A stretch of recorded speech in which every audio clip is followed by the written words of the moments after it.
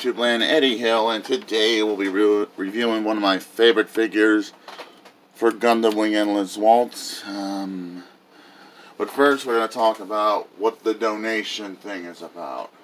Well, if there's figures you'd like me to review on channel, then send them over and I'll review them. If there's lots of figures you'd like me to review, then send them over, like I said.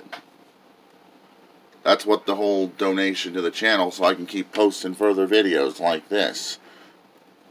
And, of course, if you have any parts to things I'm missing, don't forget you can also send those to me as well.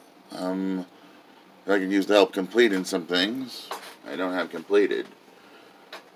Just throw some parts in a bin for me. Like this guy. Um, He's missing the thrusters he'd have in Gundam Wing Endless Waltz, and he's missing his gun. I like the figure otherwise, even though it's missing stuff. All in all, great figure. Definitely love it. I love the paint on this guy, how accurate it is, the crest thing. Oh, this is just great. This is my first Tallgeese, and it's my favorite one. You know what this guy is, and you want to you have the parts to fix them, I'd say I can use help completing them. So, along with other things I need completed, which I will review on channel.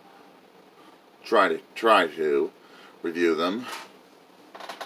There's just quite a few things I need replacements on. And this is Eddie Hill. Moving on. Oh, where I got this guy was Monroeville Steel City Con. You probably find him on eBay if you know the name of this guy. Maybe Amazon. So this is Eddie Hill. Moving on.